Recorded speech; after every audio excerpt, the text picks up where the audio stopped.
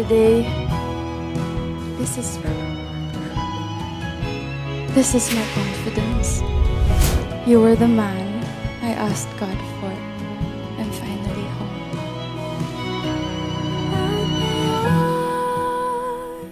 Nandito